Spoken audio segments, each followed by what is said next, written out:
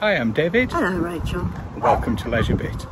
And today we're coming to you from the station inn at uh, Ribblehead. Let's go and take a look around.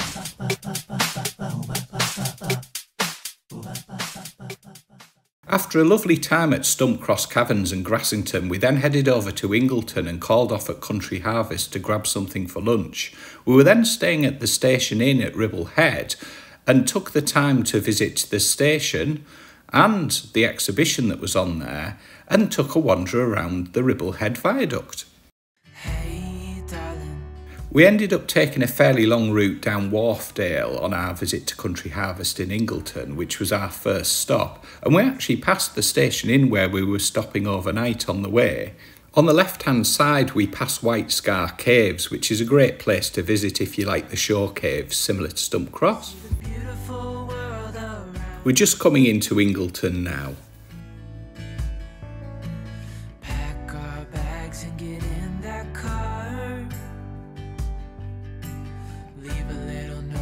And now we're arriving at Country Harvest. Country Harvest has a good selection of gifts and food and various other things. Well worth popping in if you're in the area. We thought we'd grab something tasty for lunch.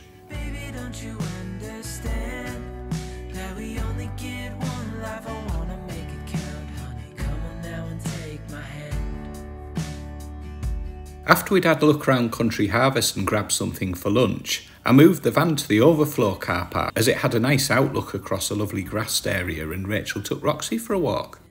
We then headed to the station inn at Ribblehead, which was staying over for the night.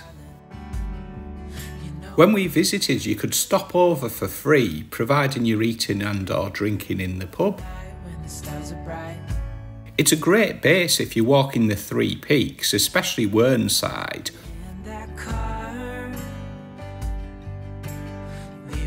The back of the station car park overlooks the Ribblehead Viaduct.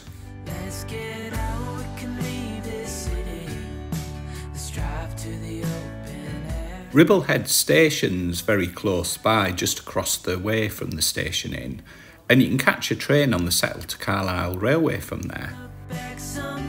You don't need to book at the station inn to stay over, but you do need to make sure you check in at the bar on arrival so that they're aware of who's staying over. And also be mindful if it's busy, you may obviously struggle to get a space. There's a track you can join very close to the station inn that allows you to wander up, if you fancy, all the way up to Whernside.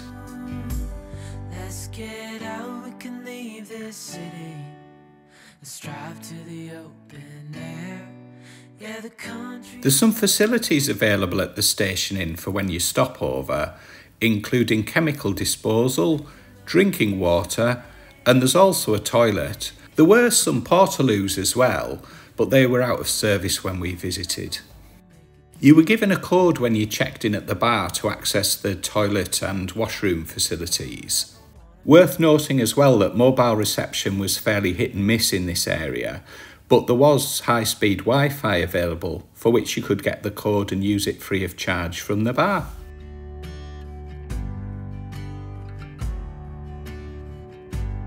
And this was the lovely view you could see out the back of the van.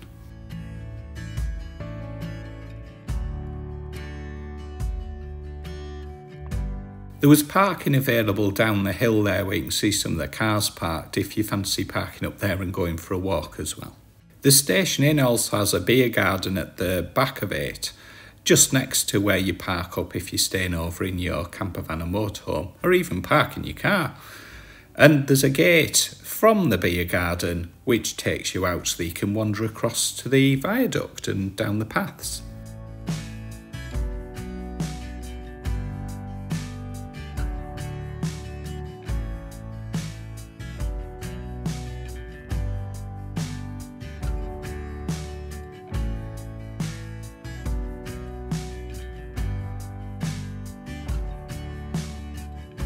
back to the van now, and then I think we'll pop into the station inn and grab ourselves a quick drink.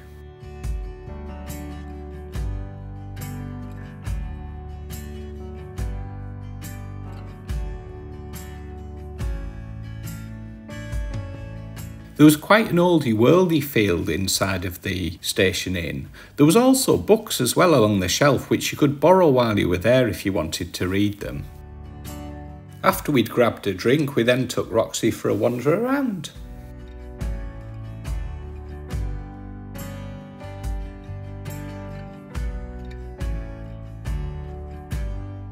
The Ribblehead Viaduct, which is also known as Batty Moss Viaduct, carries the Settle to Carlisle Railway across Batty Moss in the Ribble Valley in Ribblehead, which is in North Yorkshire. The viaduct built by Midland Railway is 28 miles northwest of Skipton and 26 miles southeast of Kendal. It's a Grade 2 listed structure. Ribblehead Viaduct is the longest and the third tallest structure on the Settle to Carlisle line.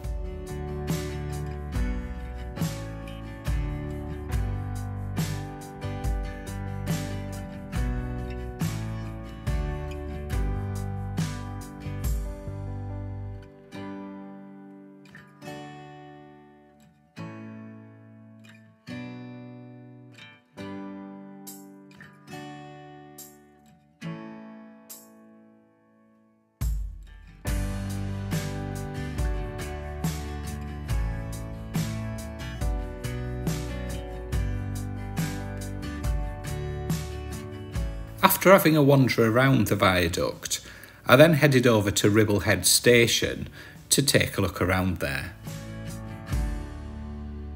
As I arrived at the station, there was a passenger train just heading over towards the viaduct.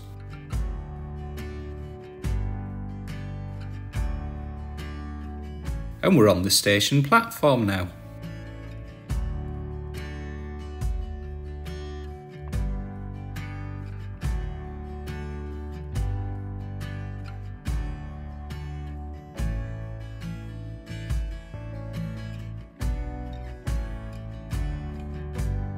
There was an exhibition on at the station which was really interesting and had a lot of information about both the railway, the Ribblehead Viaduct, and some of the challenges they had in terms of building it.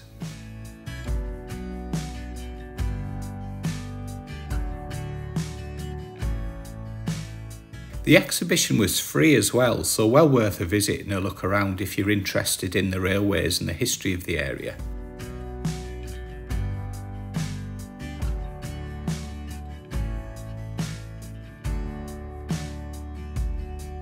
There's also a cafe at the railway station which did really nice scones and cakes and coffee.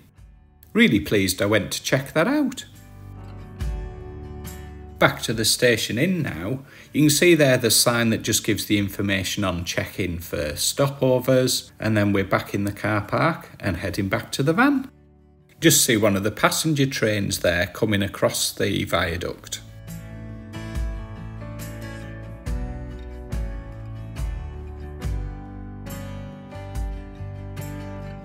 As the day progressed, it really started to brighten up, so took Roxy for another walk around.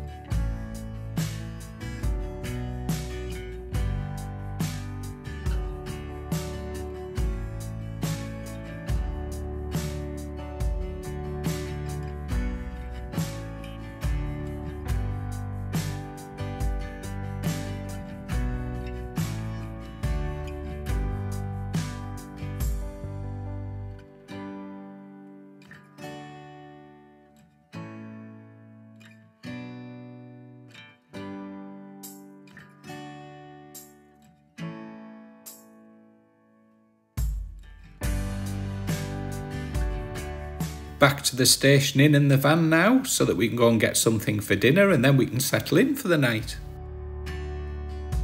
There was another train crossing the viaduct, but it's an amazing place to stop when there's steam trains and some of the classic trains going across the viaduct. I bet you'd get some amazing pictures.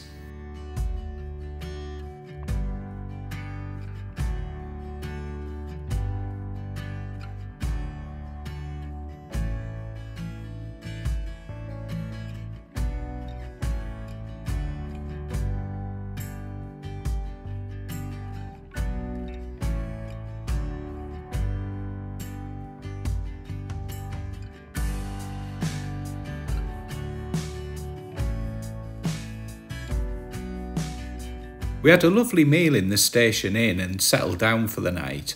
And then the following morning, waking up to beautiful views across the viaduct and Whernside. we then had to head on our way back, unfortunately, but I've had no hesitation in recommending the Station Inn. So, Rachel, what did you think of the Station Inn and Ribblehead? What a great pub stopover. Um, the food's been lovely, absolutely excellent view, scenery the viaduct, great place to walk the dog, brilliant. What do you think? Yeah, it's been excellent, and there's fresh water chemical disposal and a toilet which you get the code for as well so what more can you ask for nice food too only a five minute walk to the station as well if you want to have a run on the Settle to Carlisle railway with its beautiful scenery and you can watch the trains go past out of the back window. What more could you ask for? And it's free if you're eating and drinking in the pub. Thank you for watching. Hope you've enjoyed it. And we'll catch you on the next one. Bye, Bye. for now.